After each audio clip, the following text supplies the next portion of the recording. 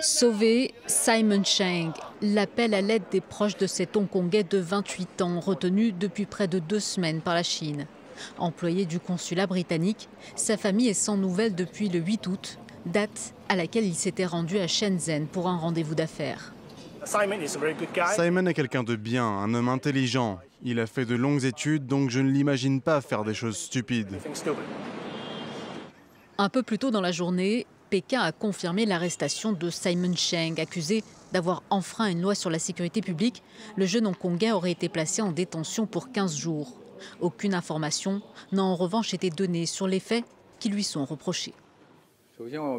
Laissez-moi être clair. Cet employé du consulat de Grande-Bretagne est un citoyen de Hong Kong.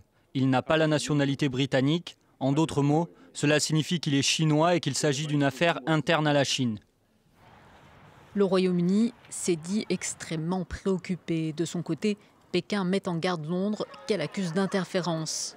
Une affaire qui intervient deux mois après le début d'un mouvement de contestation à Hong Kong, provoqué par un projet de loi prévoyant l'extradition vers la Chine continentale.